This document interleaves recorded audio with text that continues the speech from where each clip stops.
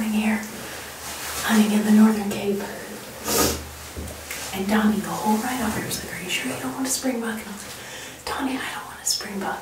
It's like, There's four colors. And I'm like, I don't know if I want one. And, and then this big herd came in, and this big ram, little ram, came in, and we were hunting a black and bottle, which was pretty cool. But then I saw these springbuck, and I'm like, okay, now I think I actually really want one. And oh my gosh, he's so cool.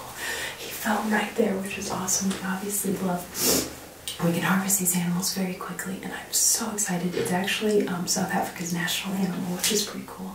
And there's four different colors, so got the copper one.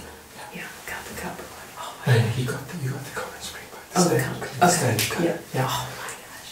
How cool. Oh, well, Yes. that, well, that, that's awesome. That's that's awesome. That is so cool. And you felt it inside. Yeah. That's awesome. And they're pretty good to eat. Oh, the best. The best. Oh, cool. Well, I gave him about 10 minutes for the other animals to kind of calm down and move off. So we're gonna go get my arrow and then go get my springbuck.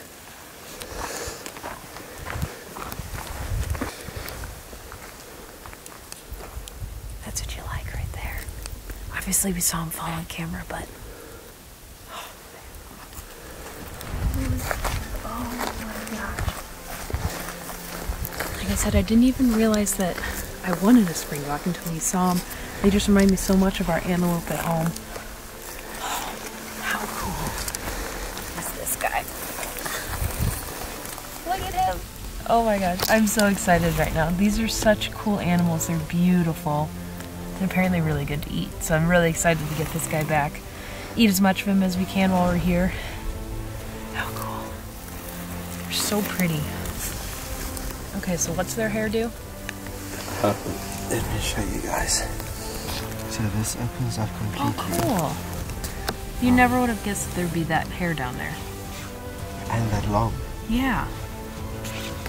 So when they, especially when the rams are, they either fight with each other or when they're being pursued by some predator, mm-hmm. and they jump up with their backs arched, Yeah. and this hair flares up. Just to show their dominance or ma- masculinity. That is so cool. And it smells like cotton candy. A little bit? Not always, yeah, you can get in there. It's very sweet. Yeah. Yeah. That is so cool. You never would have guessed that this this is back here. Look at the nice yellow Yeah. tail. So They're so soft. That is so cool. Oh, wow. Thank you. Oh, Awesome.